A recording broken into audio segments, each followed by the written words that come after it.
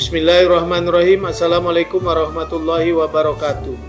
Saya Ansar Ahmad, Gubernur Kepulauan Riau, mengucapkan selamat atas terselenggaranya kegiatan wisata literasi nasional Kepulauan Riau tahun 2023.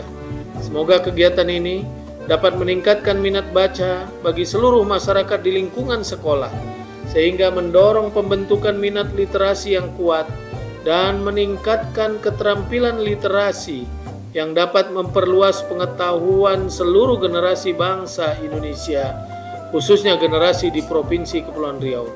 Mari bersama menyulam jaring literasi di perbatasan negeri sebagai jembatan menuju pengetahuan tanpa batas. Langkah menuju si anak tangga, langkah diterangi sebuah pelita. Mari sukseskan wisata literasi nasional 2023 untuk tingkatkan minat baca dan pengetahuan kita. Wassalamualaikum warahmatullahi wabarakatuh.